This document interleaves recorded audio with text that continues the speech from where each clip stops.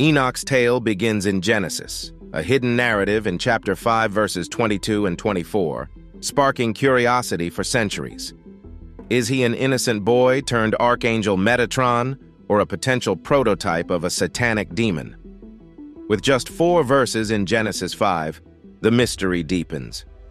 Join us today as we explore the secrets of the Book of Enoch, understanding lost Bible verses and a story that has captivated hearts across the Jewish world and beyond.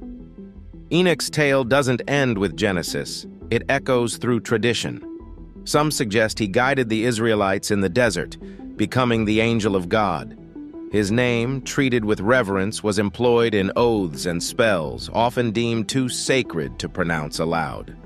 From obscurity in Genesis, Enoch rises to prominence, shaping human history. In Genesis chapter 5, verse 24, Enoch's remarkable journey is unveiled. He walked faithfully with God, and then mysteriously, he was no more because God took him away. This enigmatic disappearance marks the beginning of Enoch's extraordinary connection to abstract traditions related to thought, reading, writing, and calculation, all learned from angels during his sojourn in heaven. Returning to Earth, Enoch becomes the world's first teacher, imparting wisdom to his son Methuselah. He initiated the foundations of a great priesthood, teaching the arts of reading, writing, and calculation. This detailed account is chronicled in the Book of Enoch. Enoch's role extends beyond teaching. He witnesses the wonders of creation, unravels the universe's secrets, and comprehends the intricate balance of rewards and punishments for the righteous and the wicked. His journey spans from the anticipation of the Messiah to being a prophet of history until the end of time. Interestingly, Enoch traces his lineage back to Cain, the infamous murderer. Despite Cain's dark deeds, Enoch becomes the founder of the first city bearing his name, shifting from a murderer's legacy to the beginning of material culture. Let's rewind to the early days of book writing. While the Bible was crafted in the writing halls of the Second Temple, there were other books, like the Book of Enoch, penned in various places across Israel. These, however, didn't find their way into the Bible and were termed external books. External books, like the Book of Enoch, offer a unique perspective compared to the Bible. Despite being written by Jews who believed in God, there's a noticeable gap between the portrayal of God in these external books and the God depicted in the Bible. This divergence leads to two distinct ways of believing in the same God. Additionally, these external books paint a picture of a society immersed in folk tales, belief in demons and spirits, and reverence for the works of sorcerers. One standout example of these external books is the Book of Enoch. This collection of four essays, with the earliest dating back to around 270 BC, holds significance in both Jewish and Christian cultures. Dedicated to the character of Enoch, the text unfolds across different times and authors. Enoch's character is succinctly captured in the book of Genesis. Enoch lived 65 years, and he gave birth to Methuselah. Then, with a small leap, Enoch walked faithfully with God. Then he was no more because God took him away. This short quote sparks the imagination about where God took Enoch and the answer lies in a journey to the unseen world beyond the dome of heaven, guided by angels. The Book of Enoch unravels mysteries hidden from human eyes. Authors of this ancient text delve into the heavenly realms, exploring the fate of souls beyond life on earth. They recount that angels took Enoch on a celestial journey with a singular purpose, unveiling the concealed truths residing above. Enoch's ascent to heaven brought forth revelations of a complex celestial order. He discovered that the heavens were intricately divided into seven realms, each presided over by a distinct heavenly mind, overseeing different cosmic matters. For instance, 200 angels in one heavenly abode orchestrated the regime of stars in the sky, manipulating the entire celestial system. In the course of his celestial exploration, Enoch observed the dwellings of spirits. He witnessed the origin from which these spirits embarked on their ethereal wanderings. Moreover, he beheld the majestic heights where the sun and moon emerged, casting their radiant illumination upon the earth. In the second heaven, a startling revelation awaited Enoch, a formidable prison. This cosmic jail confined men and angels who failed to uphold the commandments of God. It is a testament to divine justice, an ethereal correctional facility for those astray from the righteous path. The third heaven unfolds an enchanting spectacle, a celestial garden of unparalleled beauty. Two springs emerge, one flowing with honey and milk, while the other with oil and wine. This heavenly oasis boasts splendid trees, perpetually in bloom, releasing a delightful fragrance. Within this divine garden stand two significant trees. Within this divine garden stand two significant trees, the tree of the knowledge of good and evil, and the tree of life. The tree of the knowledge of good and evil, infamous for the first couple's transgression, stands alongside the tree of life. The latter holds a promise for the righteous departed.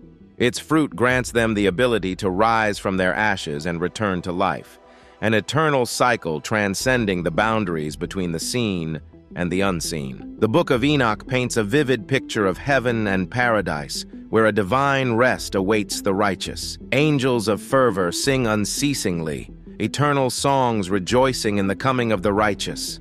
They come with joy and wait, for good pleasure, riches without measure, to rest and age amid her light and eternal life. Hanabi 13, Ladla. In stark contrast, the third heaven harbors a dreadful place known as Hell, an ominous abode designed for the souls of the wicked who sinned while alive. Unlike the heavenly river of milk and honey, hell's rivers flow with fire. Within its confines, angels wield heavy weapons, and sinners face torment in prisons. As Enoch ascends through the heavens, he encounters formidable scenes. In hell, he witnesses the bearers of the keys and the guardians of Hades standing like great serpents, their faces like unlit candles, and their eyes burning with fire. Their teeth are visible up to their breasts. Hanaf chapter 13 verse 3. Further, Enoch's celestial journey unveils massive pillars in the sky with heads reaching the heavens and feet firmly planted in the abyss. These colossal structures serve as the foundation supporting the heavens. Enoch encounters God, awaiting him on a great throne upon reaching the seventh heaven. The divine encounter is described vividly, I will come to that house, and it will be as hot as fire and as cold as ice. Fear will seize me, and trembling will hold me. Hanafi. Chapter 13, verse 3. In the heavenly realms, a second house built with flames catches Enoch's gaze. The description is awe-inspiring. He was exalted in all the splendor and dignity and size, and I saw a high chair, its appearance like crystal. From under the chair, rivers of fiery fire came out, and the great honor sat on it. John chapter 1 verse 10. Enoch is summoned as God declares Enoch is approaching. In the book of Enoch, God is vividly described as a potent force. The Lord is like a fiery furnace, and his words a flame that comes out. I saw the face of the Lord as iron whitened by fire, which, when it rises, sends sparks and burns. His eyes shine like the sun's rays and terrify a man's eyes. I saw the measure of the stature of the Lord without measure and without image and without end.